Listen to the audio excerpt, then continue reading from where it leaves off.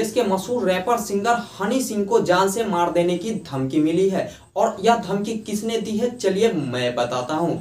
मशहूर देश के रैपर सिंगर हनी सिंह को जान से मार देने की धमकी लॉरेंस बिश्नोई के गैंग गोल्डी बरार ने दी है। और इसका खुलासा हनी सिंह ने खुद किया है, जो सोशल मीडिया के कई प्लेटफॉर्म पर इसका न्यूज़ ट्रेंडिंग में चल रहा है कि हनी सिंह को कॉल आया था और कहा गया था, आपको जान से मार दिया जाएगा। और इसका इल्ज़ाम लॉरेंस बिश्नोई गैंग का तरफ़ इशारा किया जा रहा है, जिसका गोल्डी बरार नाम के शूटर का तरफ़ इशारा किया जा रहा है, जो अभी पंजाबी सिंगर कुछ दिन पहले उनका सुसाइड किस तरह थार पर किया गया था और इसका खुलासा लॉरेंस बिश्नोई गैंग के द्वारा ही लिया गया था और कहा जाता था कि वह उसी ने शूट किया है। जो यह लॉरेंस बिश्नोई गैंग को अभी कुछ दिन पहले दिल्ली के एक जेल ने उनको रखने से मना कर दिया। समझ सकते हैं आप कि किस तरह का वह शूटर होंगे। किस तरह का क्रिमिनल है? और यह गैंग तब सुर्खी में आया जब वह सलमान खान को मार देने, जान से मार देने की धमकी दी। और इसकी वजह से वह काफ़ी पॉपुलर भी हो गए।